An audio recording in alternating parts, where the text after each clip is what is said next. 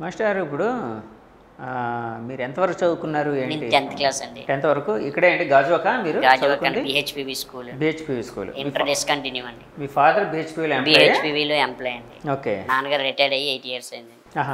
మీరు మీరు ఎప్పుడైనా డ్యాన్స్ నేర్చుకుంటానంటే మీ ఫాదర్ ఏమనేవారు ఏమంటారండి మా నాన్నగారికి ఏ రోజు కూడా నన్ను బాధ పెట్టే ఇది లేదు. మా నాన్నగారు ఈడు ఏ నువ్వేం చేయాలనుకుంటే ఉమ్, టెన్త్ క్లాస్ అయితే నేను సప్లిమెంటరీ అండి. రెండోసారి పాస్ అయ్యాను. ఓకే. అయినా సరే ఆయన ఏమనలేదు నువ్వు చదువుకో నీకు ఎలా నచ్చితే అలా చెయ్యి అని చెప్పారు. ఈ రోజుకి ఈ రోజు కూడా ఈ రోజు ఇంకా హ్యాపీ. అంటే టెన్త్లో సెకండ్ క్లాస్ రెండోసారి పాస్ అయ్యారు. కానీ డ్యాన్స్లో first class first time pass అవుతున్నాడు కదా. భగవంతుడు ఆశీస్సులండి. అంటే ప్రతి ఒక్కరికి ఏదో ఒక టాలెంట్ అనేది ఉంటుంది కదా. టాలెంటెడ్ ఉంటాయండి కానీ సక్రమంగా అవకాశాలు రావాలి సద్వినియోగం గైడెన్స్ అనేది ఉండాలి. సో మీకు మీ డాన్స్ కెరీర్లోని అంటే మీరు నేర్చుకునేటప్పుడు ప్రాపర్ గైడెన్స్ ఎవరి దగ్గర నుంచి దొరికింది?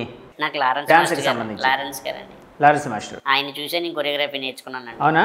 అండి ఆయన చేసేటప్పుడు మీరు అక్కడ ఉండేవారు. చేసేటప్పుడు ఇప్పుడు ఇక్కడ మీ అసిస్టెంట్లు ఎలా ఉన్నారో అలాగా అంతేనండి? ఇప్పటికీ కూడా మీరు నన్ను నా డ్యాన్స్లో నా కొరియోగ్రఫీలో మీరు గమనించవచ్చు ఇండస్ట్రీలో లారెన్స్ మాస్టర్లే గ్రేస్ మూమెంట్ చేస్తారండి. ఝాన్సీ కూడా పల్సర్ బైక్ సాంగ్లో గ్రేస్ మూమెంట్లో చేసేది. అవును. అవే బాగా పట్టుకున్నాయి అసలు. అక్సి అస్కీ మూమెంట్స్ అంటారండి అదే మన భాషలో చెప్పాలంటే మసాలా. అవును. అవి ఆ మూమెంట్స్ని నేను ఎక్కువ కొరియోగ్రఫీ చేస్తూ ఉంటాను జనాలు ఎంకరేజ్ చేయటానికి. అదేనా? వెనకతలు ఇలా జేడ పట్టుకుని ఇలా ఇలా. ఆ ఎక్స్పీరియన్స్ ఎక్స్ప్రెషన్ కానీ ఆ స్లోగా అనడం కానీ ఆ. అవన్నీ అస్కీ మూమెంట్ లారెన్స్ మాస్టర్ గారి దగ్గర నుంచి నేను నేర్చుకున్నటువంటి అవునా? ఇదండి. టెన్త్ చదువుకున్న తర్వాత డ్యాన్స్లో బిజీ అయిపోయారు మీరు. అంతేనా? ఇక్కడ నేర్చుకునేవారు.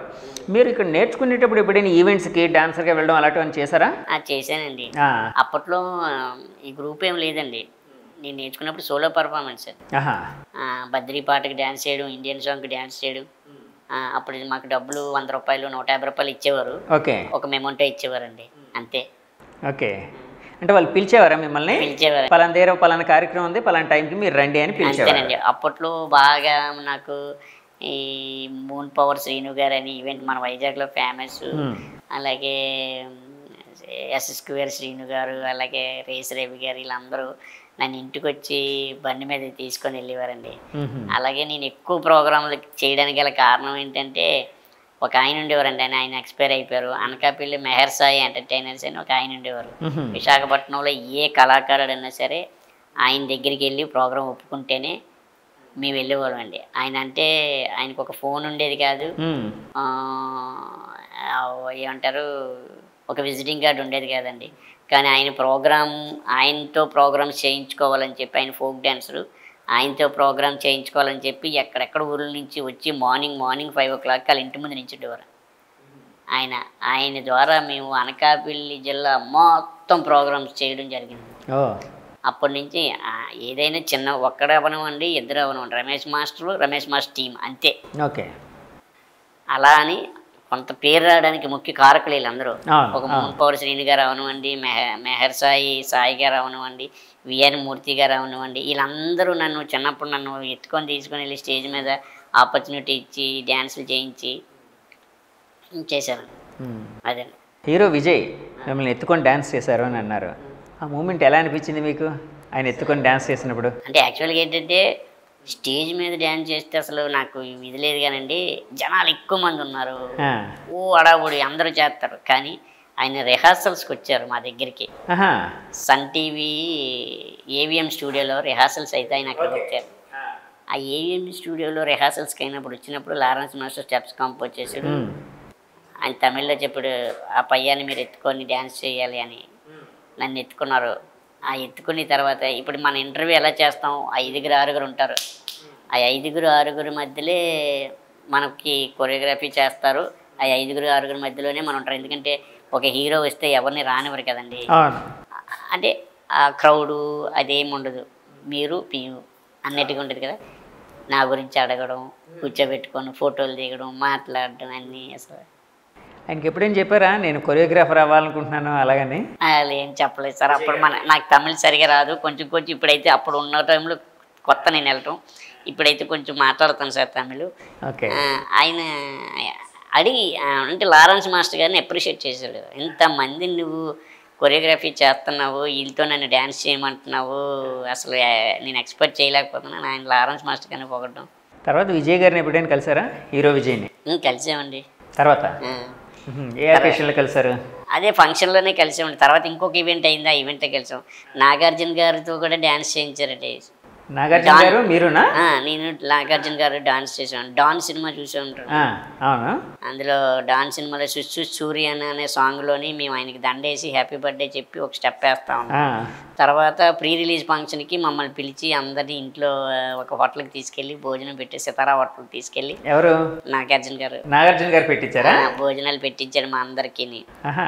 సేమ్ లారెన్స్ మాస్టర్ గారితో ఏ హీరో యాక్ట్ చేస్తే ఆ హీరోతో కన్ఫామ్గా మాకు ఒక మరువు మరవలేని రోజులాగా ఉండిపోయేదండి. తర్వాత కన్నడలోని ఉపేంద్ర గారు సేమ్ కాంచన మూవీ రీమేక్ చేశారు. అందులో ఫస్ట్ సాంగ్లో కూడా మేము డ్యాన్స్ చేసాం అతనితో పాటు. ఆయన కూడా ఇంటికి తీసుకెళ్ళి మేము షూటింగ్ చేసినటువంటి పేమెంట్ కాకుండా ఆయన పర్సనల్గా మా అందరికీ బట్టలు తీసి ఒక ఫైవ్ ఫైవ్ థౌజండ్ అందరికీ ఇచ్చి మాకంటూ సపరేట్గా ఒక బస్సు మంచి బస్సు లాంటిది అన్ని బుక్ చేసి మమ్మల్ని ఇంటికి పంపించారు. ఎవరు? ఉపేంద్ర గారు? ఉపేంద్ర గారు. ఆయన చాలా మంచి వ్యక్తి ఆయన. ఆయన తెలుగు మాట్లాడతారు. అవును తెలుగు చాలా బాగా ఆయన మాట్లాడతాడు ఆయన తెలుగు ఆయన తెలుగు మాట్లాడతారు. నాగార్జున గారు అయితే ఇంక చెప్పవసరం లేదండి నిజంగా. ఈ రోజు మొన్న లాస్ట్ టైం నేను ఆయన బిగ్ బాస్ షూటింగ్ వెళ్ళినప్పుడు మాట్లాడినప్పుడు కూడా బాగున్నారా అని అడుగుతున్నారండి అందరూ. వెళ్ళారా బిగ్ బాస్కి? నేను వెళ్ళలేదు. ఆయన షూటింగ్ జరుగుతున్నప్పుడు నేను పక్కన వేరే షూట్ జరుగుతుంది నాకు. అప్పుడు నేను కలవడానికి వెళ్ళానండి. ఏమన్నారు? బాగున్నారా? అని అడిగారండి. ఆ బాగున్నాను సార్ అన్న. ఏం చేస్తున్నా? అంటే ఇలా షూట్ చేస్తున్నా. వెరీ గుడ్ అని. అంతే. సో గుర్తుపట్టారు. గుర్తుపడతారు గుర్తుపట్టారు. అదంతా. డాన్ సినిమా అంటే లారెన్స్ మాస్టర్ గారు కదండి. ఆయన శిష్యులు కదండి. అంటే వేలల్లో లెక్కబట్టచ్చు శిష్యులు. ఒకటి రెండు మూడు ఏడుగురు ఉండేవాళ్ళు. మా ఏడుగురిని ప్రత్యేకించి గుర్తు పెట్టుకొని మాట్లాడతారు. లారెన్స్ మాస్టర్కి ఏడుగురు శిష్యులు ఉండేవారా? డిజేబుల్ క్యాండిడేట్స్ అండి. ఒకళ్ళు చీరాల ఒకళ్ళు విజయనగరం ఒకళ్ళు పర్లాకెమిడి ఇద్దరు ఒకళ్ళు అనకాపల్లి ఒకళ్ళు గాజువాక ఒకళ్ళు కుర్రాడు మధురవాడ అలా. గాజు కంటే మీరు? నేను గాజువాక అండి అనకాపల్లి అంటే ఒక శివ ఉన్నాడు. విజయనగరం అంటే రెండు కాళ్ళు ఉండవు కదండి. ఆ. అబ్బాయి మధురవాడలో దేవ అని చనిపోయాడని చెప్పాను కదా ఆయన. జగన్ అని పర్లాకిమిడి నుంచి వచ్చేవాడండి.